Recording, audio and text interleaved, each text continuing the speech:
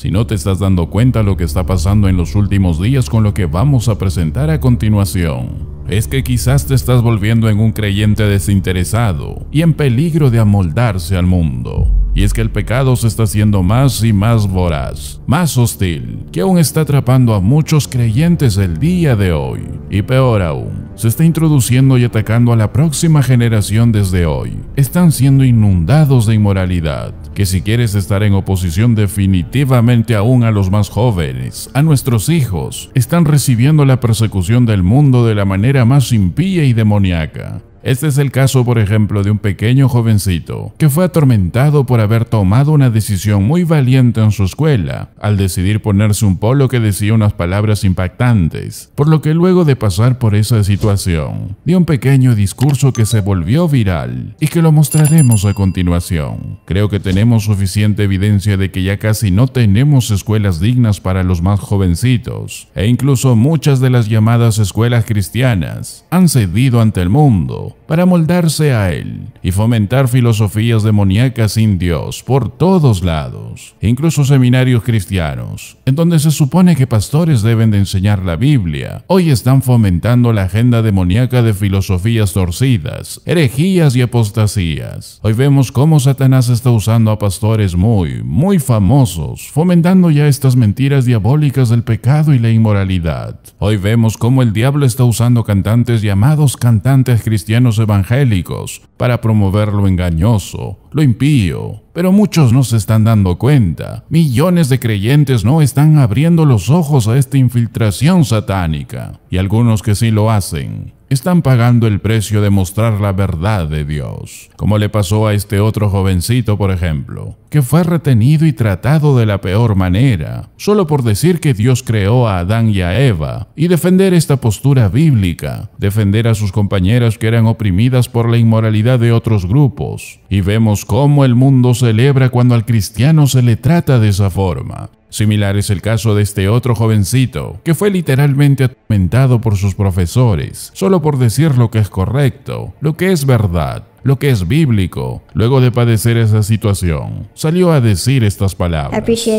Agradezco la oportunidad de hablar hoy. Nunca pensé que la camiseta que me puse en la escuela me llevaría a hablar hoy. En esa ocasión, me sacaron de la clase para sentarme con dos adultos, para lo que resultó ser una charla muy incómoda. Me dijeron que la gente se quejaba sobre las palabras en mi camisa, y me dijeron que necesitaría quitarme la camiseta antes de que pudiera volver a clase. Amablemente les dije que yo no quería hacer eso, pero luego llamaron a mi padre, que afortunadamente mi papá apoyó mi decisión y luego vino a recogerme. Mi camiseta decía estas simples palabras, que solo hay Adán y Eva. No era nada dañino. Varios niños me dijeron que apoyan mis acciones y que ellos querían ponerse uno también. Nadie se levantó ni se quejó ni salió furioso de la clase. Entonces, ¿por qué las reglas se aplican a uno pero no a otro? Estos adultos me estaban diciendo que no estaba bien que yo tuviera un punto de vista opuesto, pero sus argumentos eran débiles. He aprendido mucho de esta experiencia. Aprendí que muchos otros estudiantes comparten mi punto de vista. Aprendí que los adultos no siempre hacen lo correcto o hacen decisiones correctas. Mi esperanza de estar aquí es llamar la atención del comité escolar a este tema, para que podamos expresarnos nosotros mismos, sin ser sacados de clase, porque la próxima vez puede que no sea solo yo.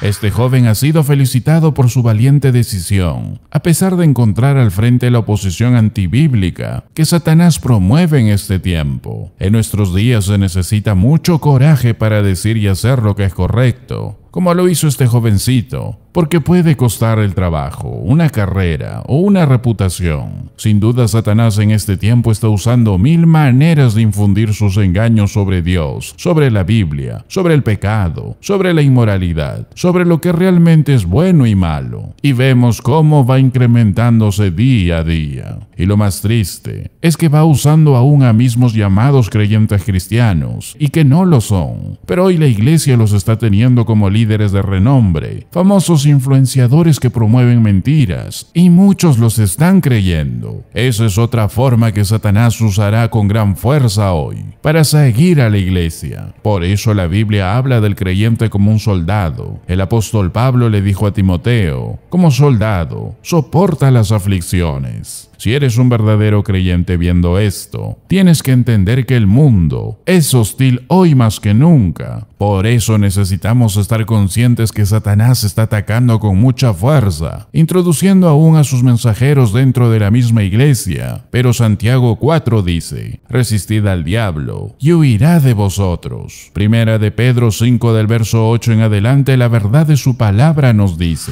sed sobrios y velad porque vuestro adversario el diablo, como león rugiente, anda alrededor buscando a quien devorar, al cual resistir firmes en la fe, sabiendo que los mismos padecimientos se van cumpliendo en vuestros hermanos en todo el mundo. En otras palabras, Satanás está ahí y debemos resistir, debemos ser vigilantes, estar alertas, estar conscientes de sus ataques para guardar nuestro espíritu, guardar nuestro hogar y guardar la iglesia. Segunda de Corintios 2.11 dice que no debemos ignorar sus estratagemas, no sea que él adquiera una ventaja sobre nosotros. En Hechos 20:29 el apóstol Pablo estaba hablándoles a los líderes en la iglesia Y él les dijo, porque yo sé que después de mi partida entrarán en medio de vosotros lobos rapaces, que no perdonarán al rebaño, y de vosotros mismos se levantarán hombres que hablen cosas perversas, para arrastrar tras sí a los discípulos. Por tanto, velad, acordándoos que por tres años, de noche y de día, no he cesado de amonestar con lágrimas a cada uno. Por eso debemos entender lo que está pasando el día de hoy y lo que Satanás está introduciendo al mundo, lo que está introduciendo aún en la iglesia, y ser firmes, firmes en la palabra de verdad, para caminar en justicia y santidad, pagando con amor y misericordia, bendiciendo aún al que nos maldice, esperando el retorno de nuestro Señor. Y la clave hoy es el Señor Jesucristo y la vida llena del Espíritu en ti, en tu hogar y en tus hijos. Porque si tienes hijos, ellos necesitan estar bajo el control del Espíritu Santo y los padres necesitan enseñarles eso. Necesitan ser guiados por la verdad de Dios. Pero si un padre es desinteresado de las artimañas del mundo, si es desinteresado del engaño antibíblico plagado el día de hoy, los hijos caminarán por el sendero equivocado. Porque si estás abrazando una herejía, el hijo creerá otras herejías más, porque no tiene el espíritu que lo ilumine para seguir la verdad.